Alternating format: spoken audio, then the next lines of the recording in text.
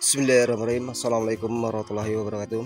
Salam setobi Berjumpa lagi di channel Bosek Lapa Bambu Hapus Tangsang Selamat pagi teman-teman semuanya.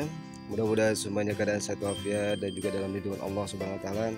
Baik teman-teman Di kesempatan kali ini Saya mau memperlihatkan Bahan-bahan bosek kelapa saya Yang diliarkan ya teman-teman. Di video-video sebelumnya Nah, ini saya membuktikan kepada teman-teman semua bahwa bosek kelapa yang diliarkan ini banyak manfaatnya juga keuntungannya teman-teman. Jadi contohnya seperti ini teman-teman ya. Jadi untuk bonggolannya nih teman-teman jadi sudah besar-besar seperti ini teman oke teman-teman jadi contohnya seperti ini ya. Jadi bahan bosek kelapa saya? Jadi dari awal belum saya rawat ya teman ya. Jadi saya masih biarkan. Nah di sini daunnya pada mengering teman-teman ini karena panas.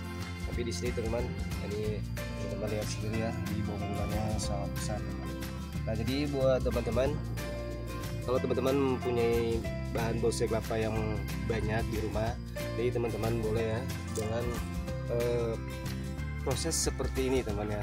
Jadi teman-teman tidak apa tidak pusing untuk uh, memikirkan untuk apa untuk uh, memprogramnya jadi teman-teman harus uh, meliarkannya dulu seperti ini. Nah setelah udah biar diliarkan bonggolannya besar-besar seperti ini nanti teman-teman boleh proses ya teman ya. Jadi buat gosip apa ini sangat mudah ya teman ya.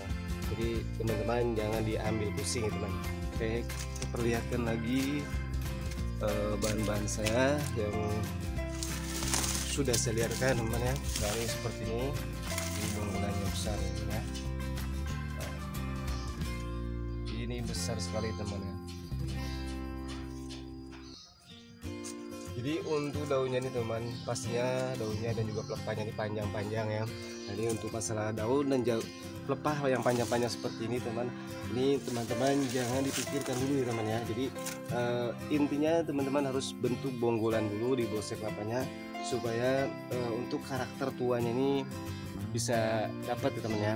Dan juga untuk ke depannya untuk memprosesnya sangat mudah ya teman ya. Kalau uh, bonggolannya sudah besar ya teman ya.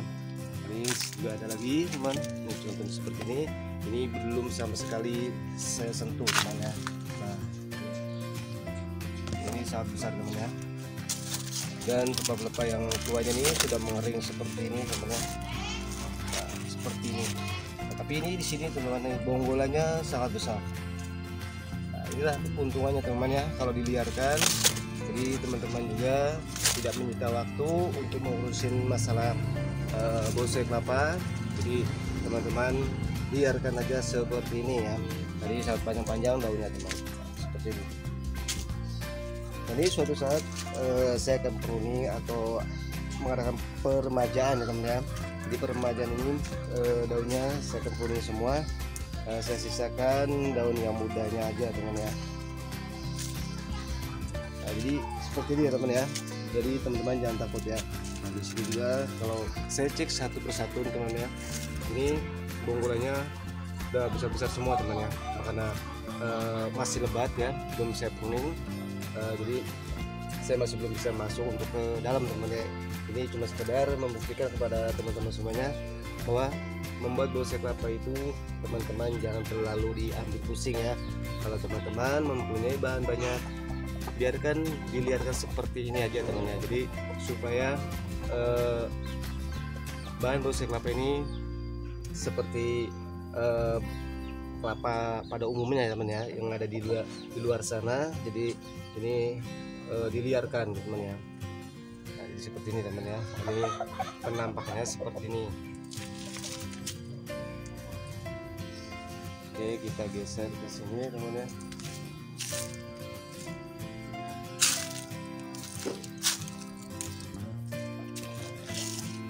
Nah di sini juga sama teman. Nah, ini ini sangat besar sekali ini bonggolannya teman. Nah, ini. sangat besar sekali bonggolannya teman ya. Jadi kalau bahan bonsai kelapa bonggolannya sudah besar seperti ini. Ini mudah teman ya. Mudah untuk kita proses uh, karena sudah mendapatkan karakter tuanya ya teman ya. Nah ini bonsai kelapa. Ya kan cenderung bahwa bonsai kelapa kita harus mendapatkan karakter tua supaya kelihatannya bagus ya teman ya. Nah, seperti ini.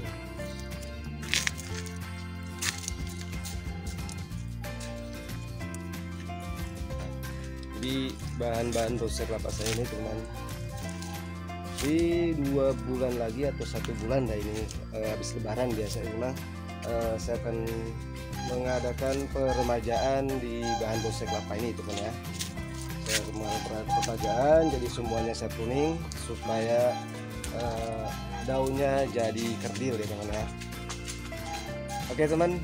Jadi ini sekedar info ya buat teman-teman kita yang baru bergabung membuat bonsai kelapa jadi teman-teman jangan takut ya kalau mempunyai bahan banyak.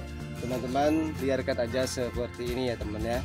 Jadi teman-teman uh, bahan bonsai kelapanya supaya mendapatkan karakter yang tua ya teman ya.